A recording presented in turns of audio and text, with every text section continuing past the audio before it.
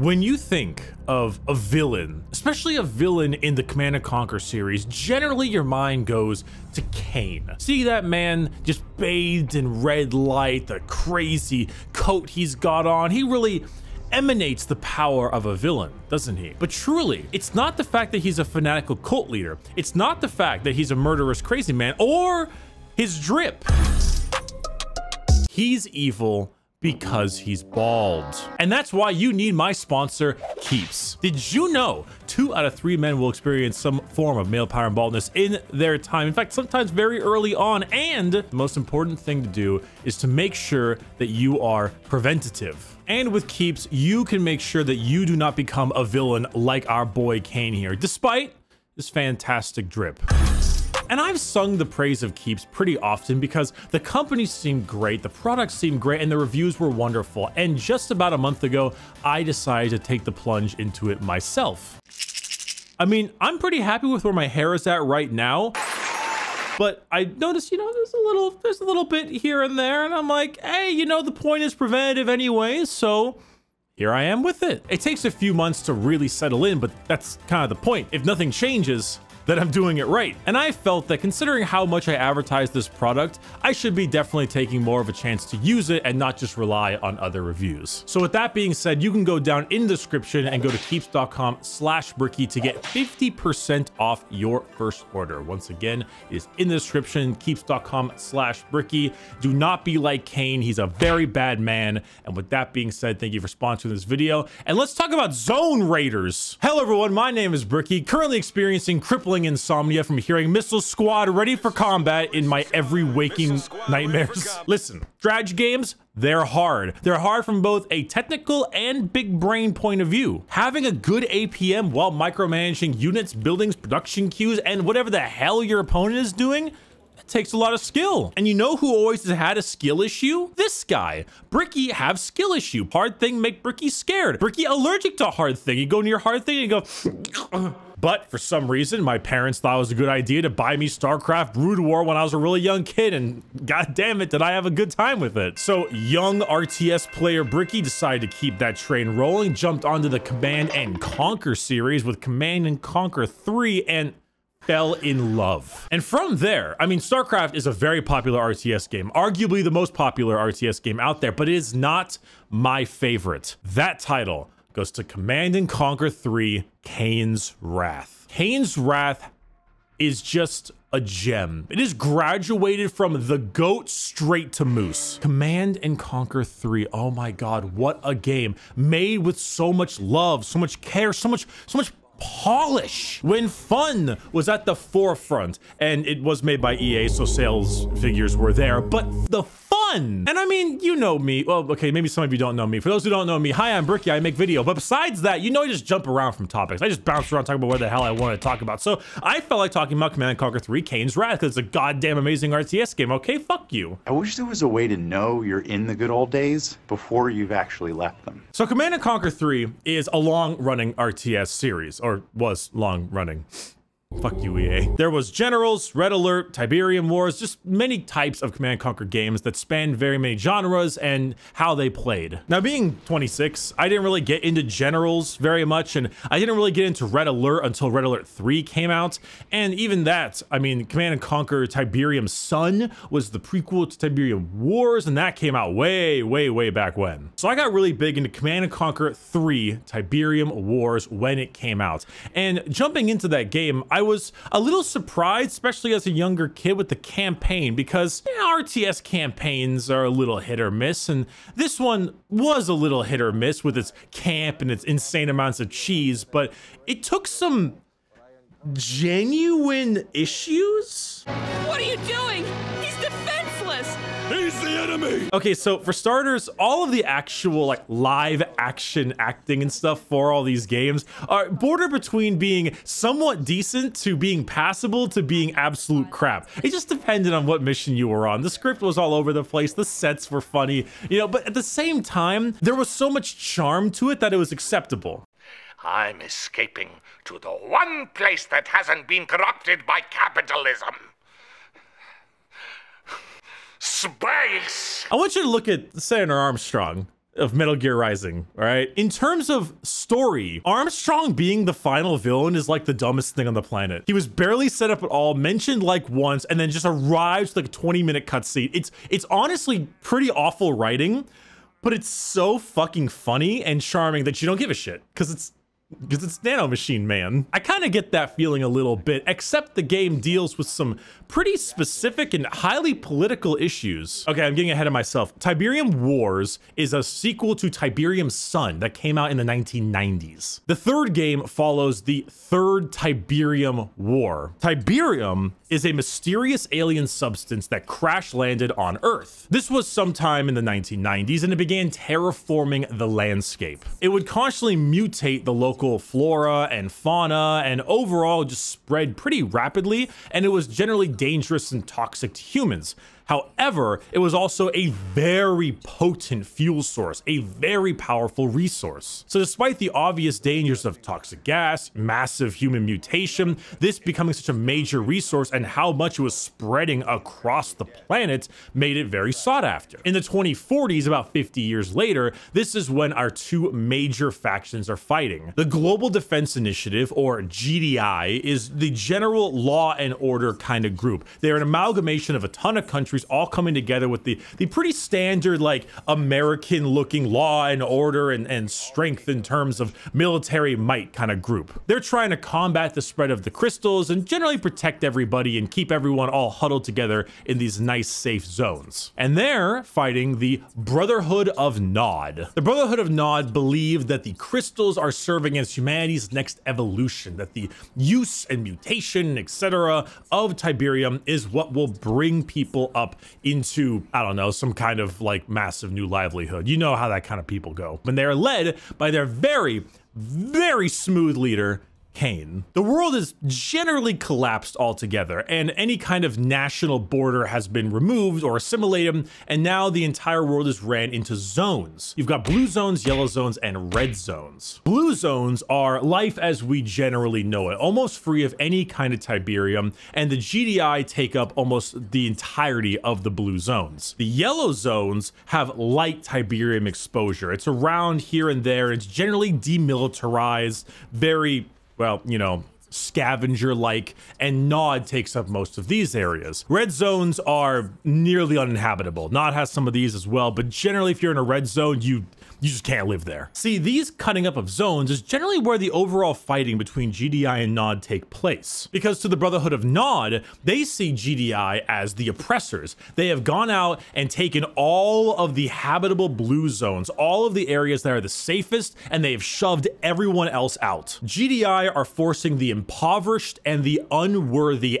out of the safe zones into the scavenger wastelands. This generally creates anger and animosity to the people pushed out by GDI and have them go directly to the direct opposition, the fanatical terrorist group Brotherhood of Nod. Because when you and your family have been pushed out of a safe zone to scavenge for yourself, joining a fanatical group to tear down the oppressors is not that far from an understandable course of action. Oh yeah, there's also the Scrin too. That's like the Tiberium aliens. They just kind of show up at the end. I mean, they have their own lore and stuff, but honestly, it's not as interesting to me. They're really cool looking, but they're just like, hey, here's your third faction. You know, looking back at it, it's really nice when a game genuinely has a political theme going on with it. And I mean like real politics, not, oh my God, Twitter mad gay people in games politics. No, no, no, like real politics, the creation and enforcement of borders, the issue of WMDs for both the big and small factions, the fanaticalization.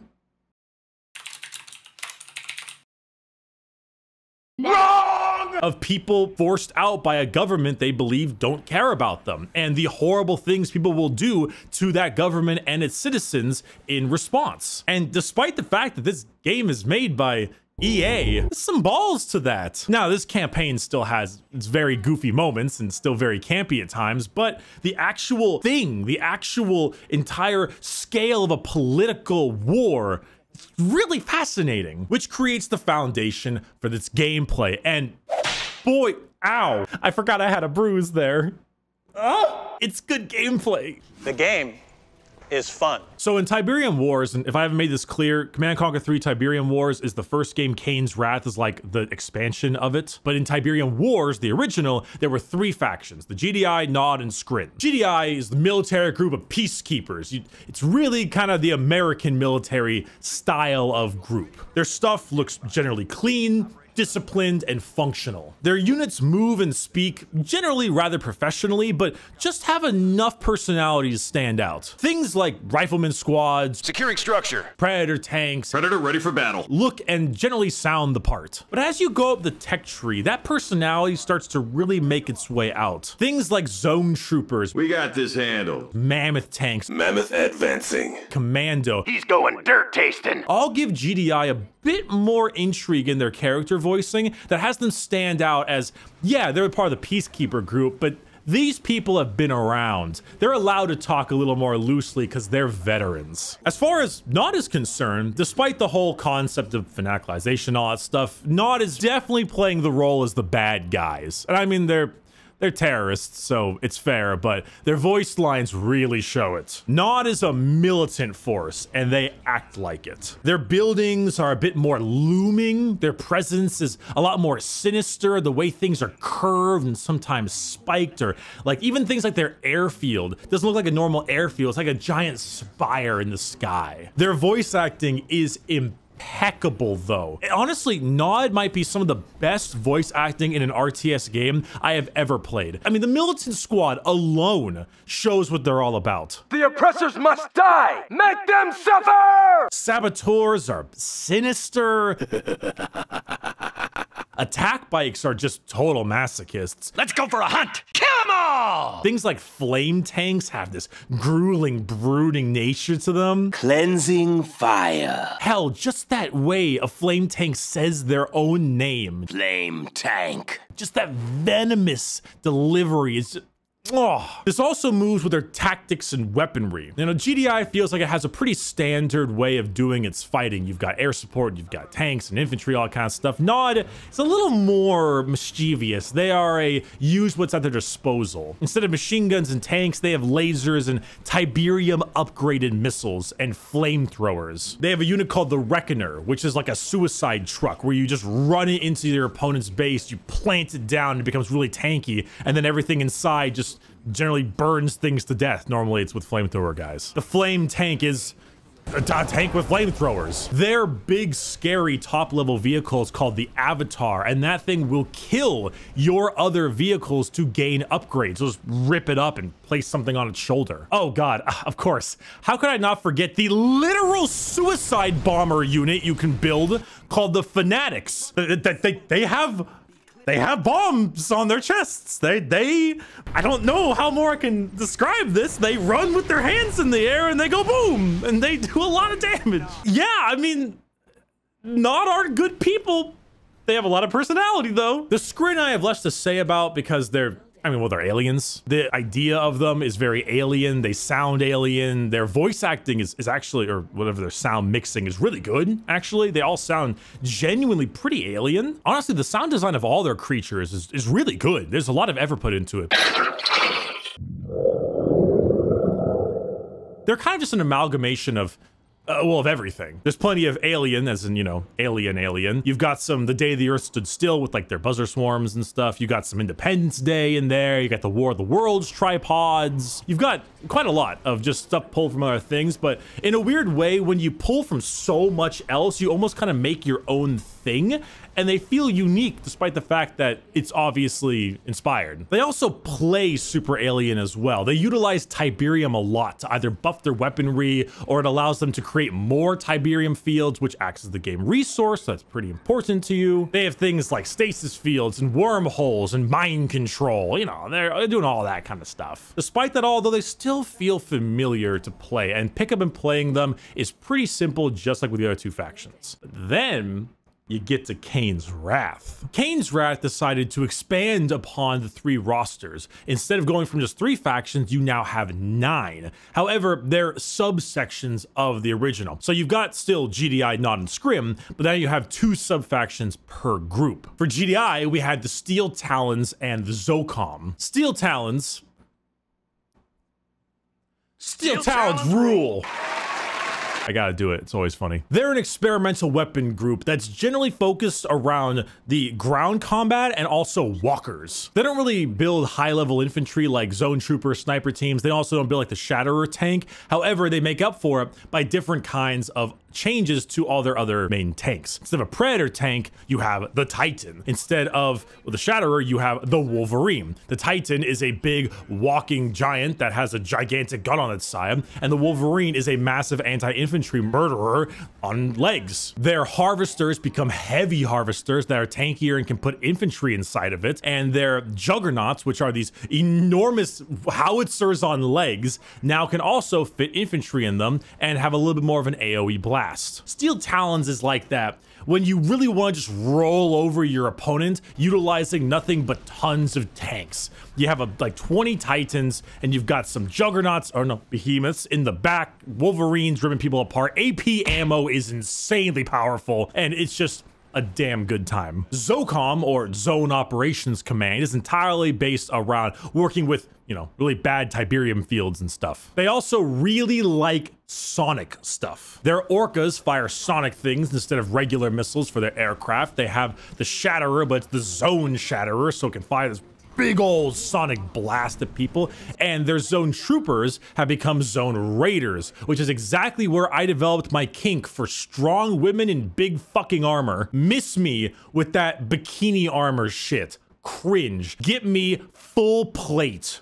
Zone Raiders are actually really dope. Instead of Zone Troopers with their big railguns, they've got AoE sonic blasters and shoulder-mounted anti-aircraft missile launchers. Honestly, ZOCOM in general can mass infantry and do a pretty damn good job at it. A lot of their infantry have great upgrades that they're allowed with this faction, and mobilizing tons of Zone Raiders, those missile troopers, and then even some cyber teams here and there, throw a commando in there. There's a lot of strength in that army. Or you could fall back on the classic ZOCOM strategy, which is a million hammerhead gunships filled with zone raiders. It's just everything dies. Like you can't stop it. It is it is insane. As for Nod, you got two factions known as the Marked of Kane and the Black Hand. The Black Hand is my favorite faction in all of Command and Conquer. I fucking love this faction so much. If you don't know what the Black Hand is, it's fire fire in everything. The Black Hand is actually a regular unit Nod can create, which is a group of flamethrower troopers, and they're kind of a little heavier, a little heavily armored. However, in this one, it doubles up its specialization. They completely forego all aircraft no aircraft at all, and they put all their effort directly into flame. Your basic militant group is no longer that. They're called the Confessor Cabal that has mind control grenades, and all of their flame-based things come out promoted, which I haven't talked about yet. In Command and Conquer, the idea of a veteran unit is taken seriously. A unit that has survived a long period of time and killed a lot of things will become promoted. The more promoted you are, the tankier you are, the more powerful you are with your weapons, and if you reach the top, become a heroic unit, you have an increased fire rate and you have health regen. So of the four tiers, regular, promotion one, two, and top heroic, coming out of promotion one naturally is pretty good. Not only that, but you can have an upgrade that adds a Black Hand flamethrower guy to every infantry squad you make. You just want some regular confessors with their guns, there's a flamethrower guy in there. Missile launchers, there's a flamethrower guy in there. There's a flamethrower guy everywhere. You could upgrade them with blue purifying flame. Do you know the power and the fun of taking two flame tanks with blue flame, bringing it into the backline of your opponent's base and watching as it instantly melts every building they've ever had. Hell, their giant walker, the Avatar, it's called the Purifier now. Laser gun, sure. Mounted flamethrower on every single one of them. Oh, you know it. They even have commandos, which we'll talk about in a moment, but they can make two of them. And they both come out at full heroic rank, max rank. Yeah. Oh yeah.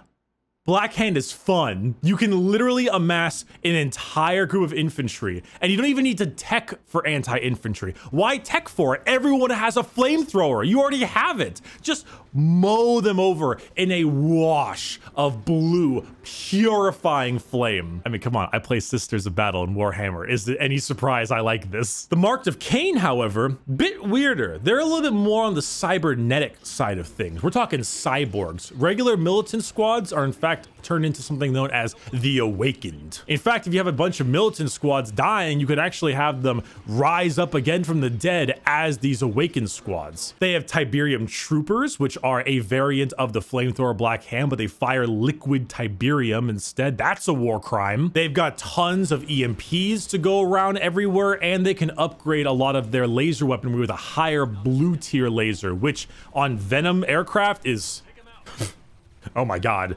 Spamming blue laser venom aircraft is a strategy I've done quite often. I mean, they're Tiberium loving techno fetishists for Nod. It completely parses. Finally, with Scrin, we have Reaper 17 and Traveler 59. Reaper 17 goes hard into Tiberium. They mutilate themselves and they, they, screw around with their bodies to add more Tiberium upgrades whenever they can. It's all about increasing the amount of Tiberium, buffing yourself with Tiberium, and having a really strong ground force that just rolls over people. Reaper 17 is a great steamroll faction because they forego their aircraft. And let me tell you, Scrin aircraft are pretty freaking good. So foregoing the aircraft, you better have something good to make up for it. And they absolutely do. They even have giant green tripods. They have this fancy unit called the Ravager. They're they're a good time. I like Reaper 17 quite a bit. Traveler 59 is a little bit more weird, a little more experimental. They go harder into the aircraft. They have their little Storm Riders, which are these tiny harassment guys that are pretty good. But then you've also got their Devastator warships, which are insanely long-range artillery platforms. And then you've got your planetary assault carriers, which are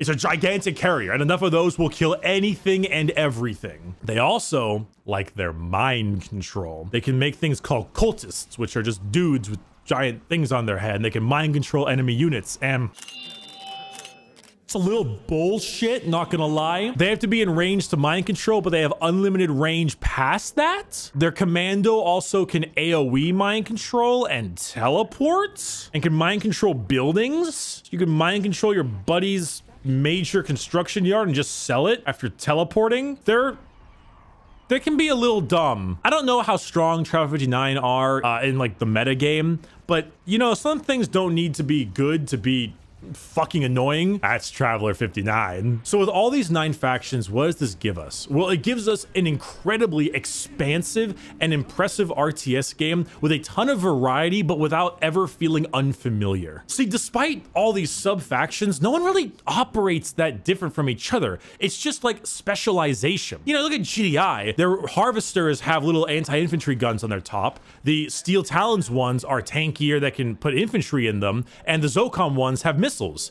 But they're all still just harvesters. They still do the same thing. You place down a refinery, a harvester gathers Tiberium, and you get your money. Certain things, like the Reaper 17, can help expand their Tiberium income and spike the growth of their areas, but they still gather it. All factions need power. All factions have power plants you need to build. Infantry units are built from the infantry building. Every faction has an infantry building. Like this might sound obvious, but it's the fact that in a game with nine factions, it's so easy to understand exactly what's going on. You know what the refineries look like. You know which stuff gives what. You know what power plants are. You know what's important. Sure, Black Hand might not be building any airfields because they don't have aircraft, but Oh well, I don't need to build anti-aircraft. Good luck still, though. Flamethrowers, Lavau. In fact, I, I think the thing I love the most about Kane's Wrath more than any other RTS game is that it feels like you're you're microing your macro. That's really dumb sounding. That's so stupid. How okay. I need to explain this strategery. Okay, the game feels more macro heavy than it does micro. If you don't know those terms, micro is the, the high APM, crazy, insane StarCraft player thing, right? Where they're moving Marines back, forth, back, forth, back, forth. All their units are going tiny little things, you know, micro stuff. Macro is your overall game knowledge and, and like building of resources, tech trees, upgrades, expansions, things that don't involve tiny micro units. However, in StarCraft, a battle cruiser you know, the biggest, most powerful unit in StarCraft is built in 160 seconds, two and a half minutes. A mammoth tank, the big, scary mammoth tank of the GDI, their highest level vehicle, takes 25 seconds to build. The Marv, the gigantic vehicle that came out in Kane's Wrath, along with the Redeemer and the Eradicator Hexapod, 50 seconds. Double the time, practically a third of the battle cruiser. But at the same time, I feel like the units die at either the same speed or slower than they do in StarCraft. But your resource deposits also go away much faster. Also, when you spend resources, you don't need to hit thresholds like you do in StarCraft. You don't need to have 50 minerals to create a Terran Marine. You just need to have anything in the queue. And then as time goes, it'll slowly be built. If you're building a mammoth tank and you run out of money, the production queue just halts and it waits till you get money again. Then it continues. So with production so fast, with units dying the same speed or slower than StarCraft, with Tiberium getting removed faster, which means you need to expand more, and the actual build queues that are going on without needing to wait for a threshold, and fighting over all of the neutral buildings like Tiberium spikes on the map, I feel like I'm microing my macro. Does it make any sense? Like in StarCraft, right? A standard Terran Marine can basically kill anything with enough volume or enough time. Ah, hell, a crap load of Terran Marines is a major strategy in StarCraft because you put them somewhere and they'll kill anything. In Command & Conquer, some fights just won't go anywhere. A Predator tank versus Rifleman squad, tank isn't built for this squad. It'll kill them before the Rifleman squad does because the Rifleman squad does no damage against tanks, but it'll take forever. So having the right tool for the job is important, but it doesn't mean there's no micro either. One, you can make formations, which is the coolest thing ever, but also you can tell them to move backwards. You can have them reverse. Pit bulls can move backwards and fire rockets at aircraft chasing them down. This is an option. This is an opportunity. That tank may not be able to kill that rifleman squad, but it can run it over. And so when your opponent sees tanks coming towards his guys, he better get them out of the way or they're just going to crush them. Certain infantry, though, like zone troopers, can't be crushed, at least not by small things. Hell, production times are so fast that even if you lose a massive fight, it's not GG. That's the one thing that I always feel with, like with StarCraft is the moment I lose a major fight, like the big the big battle, then I have nothing at my base. My production times all take too long. I've lost the game. It's it's literally over. In Command and Conquer, if you lose the big fight with your opponent, you're still building. In fact, you can even build base defenses as a major part of it. Anti-infantry, anti-tank, or the really big one, the sonic emitter, or the, the very popular one, the Obelisk of Light, which is such a badass building. So despite the fact that your opponent may have won this major fight, you're pumping out infantry, you're pumping out base defenses, you're pumping out stuff. It's not about just winning the fight and you've won. You need to follow up. If you spent so much time microing your units and trying to get rid of your opponent's big army and you've neglected your base, you might not be able to finish the job. And because you've neglected your production queues, guess what? You're on even footing again. That win meant nothing. It just makes the game feel like it's never over until it's over. Resources don't completely deplete. They regrow over time, slowly, but they do it. Harassment techniques like killing harvesters is a popular option, but harvesters can always be rebuilt. Buildings that have been damaged can be repaired just by clicking a button, but it costs you money to repair things. Hell, the use of multiple strike avenues, I feel like is such an important part of Command and Conquer, because you can have your big force, right? Your infantry, your tanks, your walkers, all the big stuff, and you just move that force into your opponent, the big fighting force, you know? Classic ground war. But why have just this big frontline force without some aircraft support? Hell, get some Firehawk gunships and send them around the corner to bomb some of their important buildings, maybe like a power plant or something. If you're out of power, you don't get a mini map. If you're out of power, your base defense is shut down. So now you've got this giant front force and then you've got aircraft. But what about more? About some harassment techniques? Go kill their harvesters. You got this big battle in the front, micro some units in the back. Throw flame tanks in there to burn their refineries up. Send maybe even an engineer to steal one if you can get away with it. Bring in attack bikes because attack bikes are so annoying and use them to kill all their harvesters off. So even if they do win the fight, you've killed their economy. So now you've got big front force, aircraft, harassment. Why not that cherry on this sundae? Bring in your commando. There's an old saying, the deadliest weapon in the world is a Marine and his rifle. Commando is the embodiment of that saying. A commando is very small, not too squishy, but squishy enough. But he shreds infantry. He just mows them down at 1200 RPM, and no infantry can stand a chance against him. But he can die pretty quickly to maybe some aircraft or something if he's out of position. That's why he's small. However, if he reaches a building, well, one commando can destroy an entire base. Once he's in there, once he's in and sabotaging your stuff and planting his bombs, one commando can destroy your entire base and ruin everything for you. Once you hear that that beautiful and everything just explodes, then there's problems. The game will even tell you enemy commando detected to make it very clear that there's someone there. So, frontline force, aircraft support, harvester harassment, and a commando in their back lines blowing their shit up. And you're telling me this isn't one of the best RTSs ever made. It's so much fucking fun. And then you have all the support powers on the side of your screen, things like anti-aircraft and orbital strikes, and you've got like Tiberium catalyst missiles and radar jammers, and and you can spawn a mothership, and oh, let's not even forget to talk about the super weapons, ion cannons, nuclear missiles, a black hole, all this shit coming together in a crazy amount of fun, an awesome game, and EA decided to it to the ground and completely stop making any of this shit. And the RTS genre is dead. Red Alert 3, if I'm not mistaken, is, is not running wonderful on PC. I think it's got problems with matchmaking or if there even is any. And then the game after Kane's Wrath, Command and Conquer 4, Tiberium Twilight.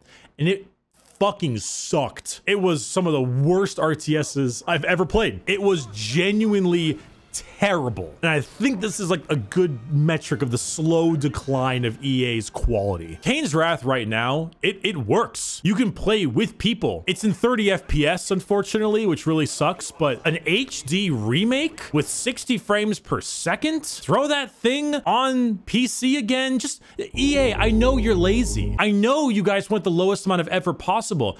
Just update that. Just, I don't care. I want this back in the world so I can watch more tournaments and stuff. In fact, there's still some of that going on right now. There is a channel I've been watching a lot lately for this video. It's called Sybert CNC Caster. He casts pro Command and Conquer Kane's Wrath games as well as some Red Alert stuff, but the Kane's Wrath stuff is immaculate. It is so entertaining to watch and it's so exciting and the thought that this could come back is just I know it won't because of course it won't and I'm just a guy. Oh my god, it's so entertaining. It's so good. It's so good to watch. I'll leave his channel in the description. Check it out. It's true peak Command and Conquer content. So much love in this game. So much polish, so much care put into it. I didn't even mention the 4X mode. There's a mode like global conquest where you have like a 4X elements and then you do the fight like they, it's just there. It's so good.